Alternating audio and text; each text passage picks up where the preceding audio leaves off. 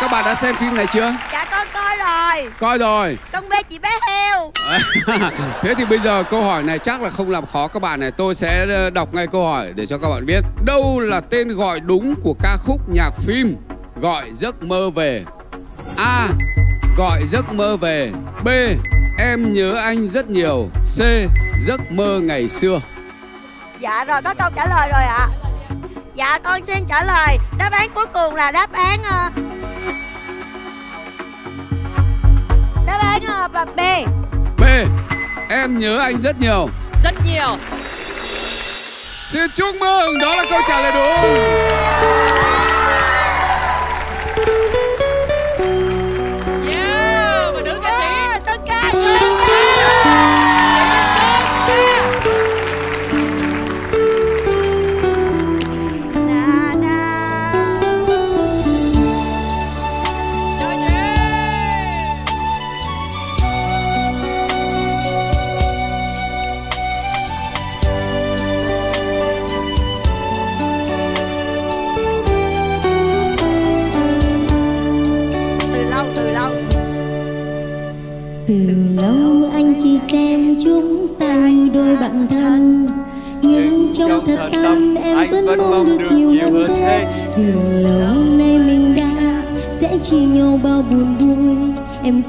Mình không có ngày mai. Nhưng lúc anh vui đùa cùng em Kể biết bao câu chuyện tình yêu, Có biết chăng trong lòng em đang nhói đau vì yêu anh. Nhiều lần em đã nói dối anh, Có một chàng trai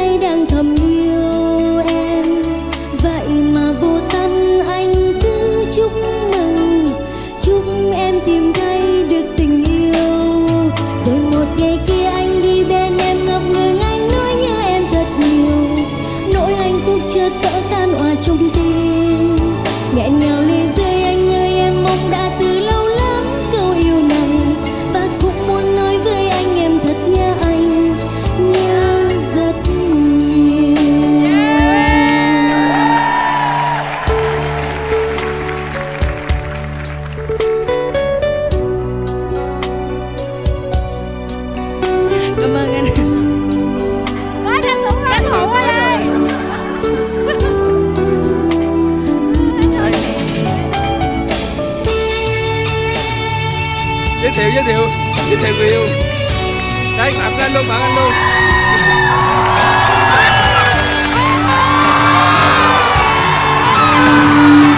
Woo!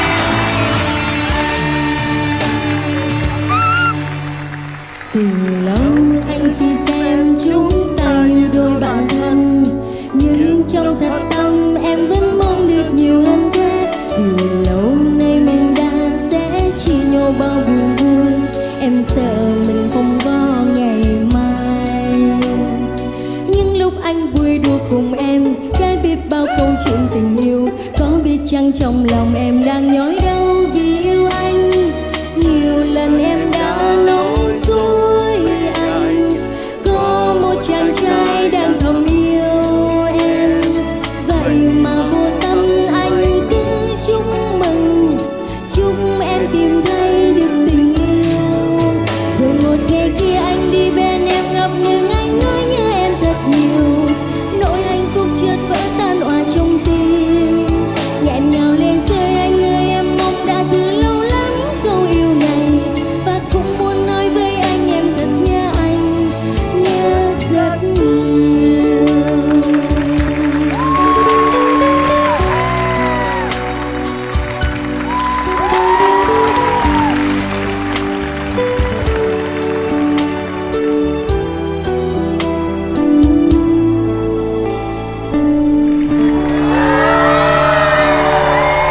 Cảm ơn.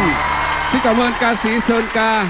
Và như chúng ta đã thấy là bốn diễn viên tham gia trong bộ phim này. Đó là Ngân Khánh, Huỳnh Đông, Bá Thắng và Quỳnh Anh.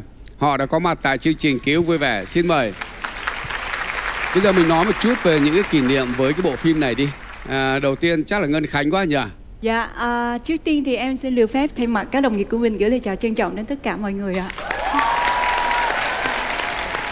ở Long Hải tụi em quay ở đó thì à, có một cái ngôi nhà ngôi nhà biệt thự bị bỏ hoang thì em thì rất là sợ ma mà anh Huỳnh Đông là chuyên nhát ma mỗi lần mà đi à, đi ăn trứng cút lộn về xong á thì em thì ngồi lên xe đạp của anh Phát anh Tấn Phát chở còn Minh Hằng thì ngồi trên xe của anh Huỳnh Đông mà cứ tới ngay cái biệt thự đó là hai anh dừng xe lại là tụi em đứa nào cũng hét lên À, cái bộ phim đấy là phim truyền hình hay phim điện ảnh nhỉ? Giờ Dạ. bộ phim truyền hình à. Truyền hình và dài tập không?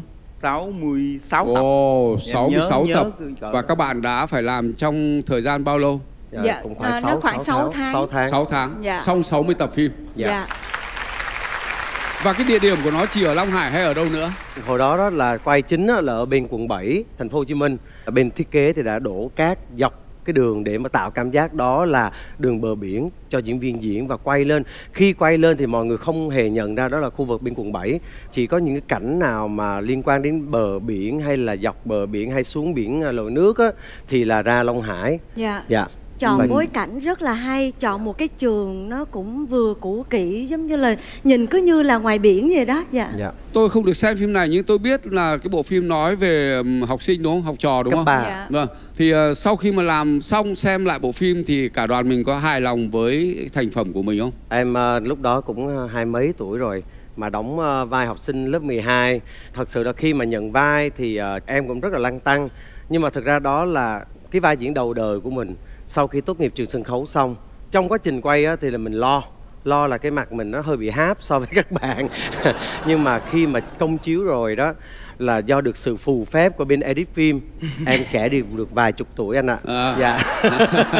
Thế còn ờ, Quỳnh Anh? dạ thì ờ, sau bộ phim đó thì ờ, mấy anh em ngồi lại với nhau cứ muốn là ước gì được nữa. Rất là quyến luyến với nhau tại vì quay phim nó rất là vui luôn. Nửa đêm là quỳnh anh à, chở em ra ngoài long hải chạy ra ngoài Long Hải nhiều kỷ niệm lắm nhìn dạ. nhìn vậy nhưng rất là men À, tại sao mình lại để bạn ấy đèo mà mình không đèo? tại vì mắt em cận À. mà lúc đó là 11 giờ đêm thì cổ mới ờ, xong vai diễn trên Dạ. sân khấu kịch em chở được một đoàn mà đến đoàn nào mà tối quá là là cổ phi lên cổ cổ chở em đi Dạ. rồi có em còn nhớ là cái hôm đó là bị lủng lốp xe hai anh em là hai anh kéo em đẩy đẩy tới ngay khách sạn luôn đẩy rất là xa luôn Có cặp nào yêu nhau Huỳnh Đông với lại Ngân Khánh hay là Quỳnh Dạ. Anh với lại ờ, Bá Thắng không? dạ, Dạ. Dạ vợ vợ con trong con không nói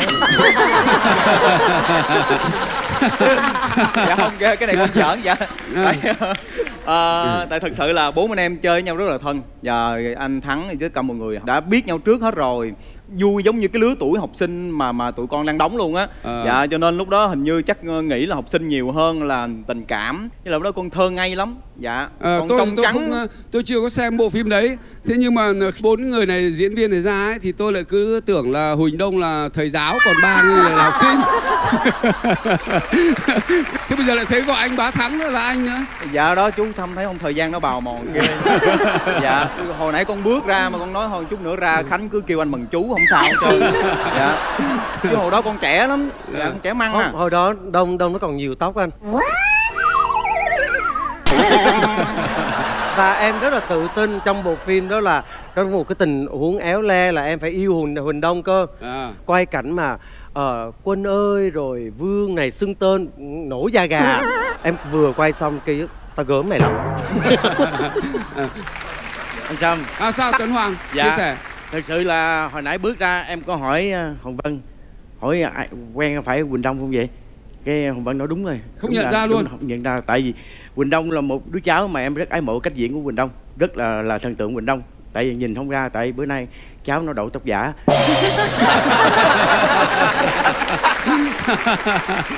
Thế còn ờ, cái bài hát đấy thì Sơn ca có hát trong phim đấy không Dạ đúng rồi con đúng cái bài hát đấy Dạ ờ, phải thu mất nhiều lần không Thật ra là con không biết là phim cái kịch bản phim có trước hay là bài hát của con có trước nữa. À. Tại vì con thu cái bài hát này xong á là con dự định chỉ là cái bản nhạc ờ, chính trong cái album của riêng con thôi. tức là cái bài hát mà Sơn ca hát đấy không phải là sáng tác cho phim này Dạ đúng rồi ạ. Khi mà nh- nhạc sĩ Vũ Quốc Bình á nói là con đem cái bài hát này ờ, đưa cho đoàn phim thử để cho bên đạo diễn nghe thử là có hợp với phim hay không. Con nhớ là đưa tới 6 bài lần. Nhưng mà anh đạo diễn trải về hết và nói là phải đúng là cái bài này mới được. Lúc đó là chú Bình mới nói với con là ừ, thì thôi thì con để cái bài hát này lại cho phim đi mà con nói là, ủa, con lỡ thu rồi, con lỡ hát rồi, con lỡ chuẩn bị vô album rồi, sao con để thì lúc đó là chú nói, thôi vậy con hát cho phim luôn đi, là con mới có cái duyên để hát với phim nữa có một chàng trai đang thầm yêu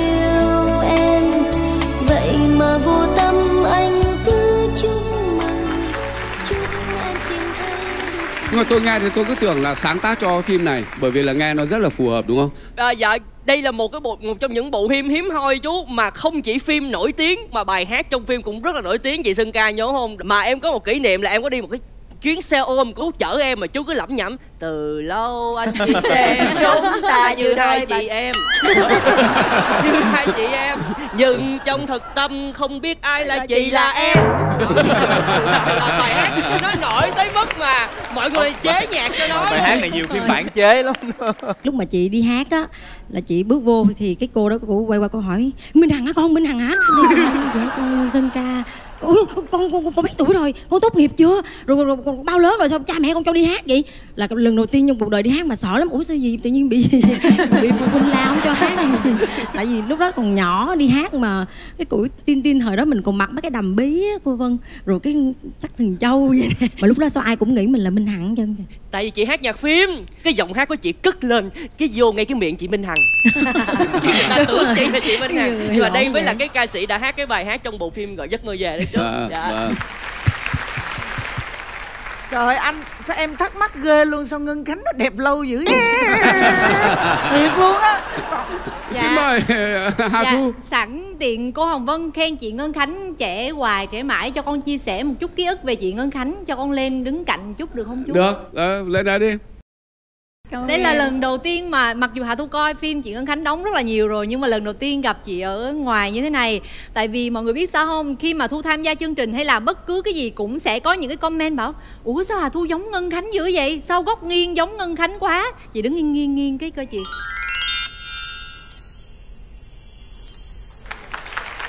Đúng Giống rồi, không nét người? giống thật, Dạ, có nét dạ. giống thật. Em biết là em là phiên bản lỗi Dạ À. không, không, không Nhưng mà một cái ký ức rất là vui như thế này Khi em đi sự kiện Cái em đang lồng lộn lắm Đang bước vô rất là chảnh nha Bước bước bước cái mấy, Chị ơi chị đẹp quá Chị ơi chị đẹp quá Chị ơi cho em chụp tấm hình nha Ừ chụp mấy nó Chị ơi chị Ngân Khánh ơi, em mộ chị lắm chị Chú biết sao không? Tại vì là con á, con mê chị Ngân Khánh cho nên con chỉ lên đây để cho mọi người xác nhận con là con có giống chị Ngân Khánh không mọi người ơi? Có, có giống, Không, à, em em em cũng à, công nhận là lúc mà Hà Thu bước lại gần đây thì em thấy ồ cô bé này có nét hơi giống mình thiệt. Giống đấy, ờ, Dạ em giống. thấy có nét hơi Đúng giống thật. Trông cứ như là hai chị em sinh đôi. Nếu mà nói sinh đôi hơi quá Tức là góc nghiêng vừa rồi ấy Thì là đúng là rất giống Nhưng mà có nhiều chi tiết mà khi nghiêng thì anh thấy lại cũng không giống đâu cảm ơn, cảm ơn Hà Thu. Vâng. Sao ạ, Tấn Hoàng? à, cho cho hỏi con bây giờ con đi ra ngoài người ta vẫn biết con Ngân Khánh người ta nhìn ra đúng không con Dạ, à, còn dạ. Đông có nhìn ra con không không bấm thôi thiệt dạ người ta người ta có một chút nghi ngờ nhẹ. Với cái gọi giấc mơ về này thì con cũng có một kỷ niệm ấy, cái là nhờ à, bộ phim gọi giấc mơ về này mà con có cơ hội là được về sân khấu à, cô hồng dân và sau đó là cũng gắn bó với sân khấu rất là lâu. Trước khi mà con à, quyết định rẽ sang một cái hướng khác rồi con xin phép con nghỉ. Dạ thì ở đây sẵn đây có cô thì con xin cảm ơn cô rất là nhiều. Đã. À. dạ. À, con cũng đóng kịch trước rồi xong con mới đi đóng phim. Nhưng mà nhờ bộ phim này mà cô dân tin tưởng con hơn. Cho mới ờ, mời con về sân khấu dám mạnh dạn giao cho con những cái vai mà ờ, từ đó tới giờ con chưa được làm. Từ những cái kinh nghiệm trên sân khấu đó mà con càng ngày càng phát triển hơn càng cứng cáp với cái công việc này hơn. Bây giờ thì còn không không còn ở sân khấu Hồng Vân nữa. Bây giờ Đông làm làm bên điện ảnh nhiều. Đông bây giờ là đạo diễn điện ảnh. Vừa rồi được ờ, giải rất là là gọi là nhiều giải luôn đó giỏi anh. lắm. Dạ thì con con đang cố gắng tập trung cái thời gian này cho cái công việc đó của mình Huỳnh Đông thì đã chuyển sang phim điện ảnh, thế còn ờ, bạn thì sao? Dạ hiện tại thì à, em cũng vừa xong cái khóa học của em ở bên Sinh. Cái khóa học của em là liên quan về sản xuất phim thì em cũng đang bắt đầu trở về và quan sát thị trường nhiều hơn để mà mình sẽ đưa ra một cái hướng đi à, đúng nhất cho cái cái sự, sự nghiệp của mình sau này. Ừ, Thế thì chắc Dạ. là sẽ có dịp làm việc với lại Hồng Ánh đúng không? Hồng Ánh. Dạ. Ờ, Dạ. cho cho Hồng Ánh nhắc một cái kỷ niệm ờ, liên quan tới bộ phim gọi giấc mơ về cái bộ phim này, cái thời điểm mà nó ra mắt nó khiến cho những cái người đồng nghiệp mà đang làm nghề ở cái lứa tuổi của Hồng Ánh á, cảm thấy rất là là là phấn khởi. Mà riêng cá nhân em thì em cảm thấy có một cái gì đó rất là vui nhưng có một gì đó cũng rất là tuổi thân. Là bởi vì ngay thời điểm đầu tiên vào nghề thì em còn trẻ thì em lại đóng những cái vai rất là lớn tuổi, những vai phụ nữ rất là khổ cực. Và tới bây giờ thì mình lại vào những vai mẹ và dì. Cả một cái khoảng thời gian làm nghề của em chưa bao giờ được vào một cái vai học sinh đúng lứa tuổi ở thời hiện đại cả. Cho nên cái bộ phim gọi giấc mơ về nó cũng giống như là một cái giấc mơ làm nghề của hồng ánh mà chưa bao giờ mình được đóng vai học sinh đúng tuổi như các bạn cả cảm ơn bộ phim đã cho mình trở lại những cái giấc mơ rất là đẹp nói hộ mình những cái tình cảm rất đẹp của tôi học trò. Cảm ơn chị. Cảm ơn hồng ánh thế còn uh, quỳnh anh? Về cái phim uh, gọi giấc mơ về á, thì uh, hình như là cái phim đó là phim lần đầu tiên mà nói về cái đề tài mà sống thử ờ, hả? sống thử. À, dạ. à. và cái vai đó là con ờ, chính là có cháu. bầu với anh Đình Hiếu à. dạ thành ra là mỗi lần mà đi giao lưu với các trường đại học á là ai cũng đè cái vai con ra hỏi hết á hỏi là ờ, kinh nghiệm sống thử hả mà có biết gì đâu cho nên là cái vai đó là cũng là một cái vai rất là thú vị cũng một cái vai rất là ấn tượng với con còn bà thắng thì sao Dạ sau khi uh, phim gọi giấc mơ về được phát sóng thì uh, Thắng cũng bắt đầu là được uh, khán giả biết đến nhiều hơn. Song song công việc một diễn viên thì em uh, là một ca sĩ. Vừa rồi thì em mới vừa tốt nghiệp xong cái uh, lớp đạo diễn sân khấu ở trường Đại học Sân khấu Điện ảnh Thành phố Hồ Chí Minh. Và có một cái dự án mà đến giờ này vẫn còn đang bị khựng lại vì do cái dịch bệnh và hy vọng rằng cái um, vở kịch uh, và cái dự án của em uh, sự thật trên đầu lưỡi gươm sẽ được uh, tiếp cận được với khán giả thật sớm. và đấy là cái tác phẩm đầu tay đấy hả Dạ vâng. ở cái vai trò đạo diễn Dạ. ồ chúc em thành công hồng vân hỗ Dạ. trợ Qua chắc chắn á. là như vậy rồi có chị em em có hứa hẹn nhau rồi qua năm là tại vì năm nay bà cô bà làm ghê quá không mà ngăn gì được cả Dạ, rồi. Rồi, rất là cảm ơn các bạn đã đến với chương trình Cứu Vui Vẻ đã chia sẻ những cái kỷ niệm mà tôi nghĩ rằng ờ, đâu đó nó vang lên những tiếng cười nhưng mà đằng sau đó thì nó có ẩn ý rất là nhiều những cái thông điệp mà các bạn gửi tới cho tất cả khán giả của chương trình Cứu Vui Vẻ. Cảm ơn các bạn rất nhiều. Cảm ơn. Nhân đây thì em cũng xin được gửi lời cảm ơn à, đến à, tất cả quý vị khán giả đã cho phép chúng em được là một phần ký ức à, rất là đẹp của mọi người và à, chính quý vị khán giả cũng là một phần ký ức rất đẹp của tất cả các anh chị em diễn viên à, trong bộ phim gọi giấc mơ về và những ký ức đẹp đó nó sẽ trở thành một phần tinh hoa trong cuộc đời của mỗi người nghệ sĩ. Em xin được cảm ơn rất nhiều về chương trình ký ức vui vẻ đã cho tụi em có cơ hội đứng ở đây và được nhìn thấy tất cả quý vị khán giả và được tái hiện lại những cái ký ức đẹp đẽ nhất trong ờ, quãng đời diễn viên của chúng em. Thì em xin cảm ơn rất nhiều ạ.